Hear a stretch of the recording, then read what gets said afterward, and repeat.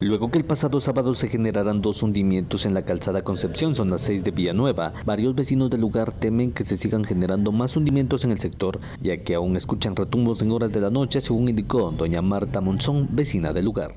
Pues la verdad nos ha afectado bastante en el sentido de que, primero, ver la tragedia, cómo están los familiares, buscando todavía las personas que no aparecen y en otra parte, eh, como vecinos de acá, estamos asustados de que qué pueda pasar porque aún se oyen bastante ruidos, este, todavía tiembla, las partes de acá todavía se siente que tiembla bastante.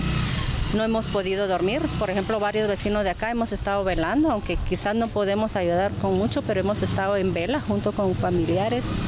De igual forma se refirió doña Alba Rivera, enfatizó que esperan que las autoridades puedan hacer una supervisión del área para que puedan estar tranquilos en sus hogares. Sí, nosotros sentimos miedo porque sin embargo ayer a las 5 de la mañana se oyó como cuando truena algo así, va, se escuchan retumbos bajo la tierra. Todavía se escucha, sí.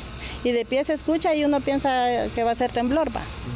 Porque cuando va a temblar así se escucha y uno piensa que es temblor, pero me imagino que lo, la falla que está por abajo, va, porque eh, comenta la gente más antigua de estar aquí que hay debajo de allí hay cavernas y posiblemente por eso no encuentran el carro.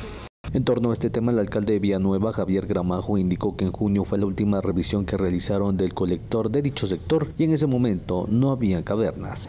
La se supervisó y el video está. ¿Cuándo fue la última supervisión? 27 de junio. ¿Y qué apuntaba? Y no había ninguna situación.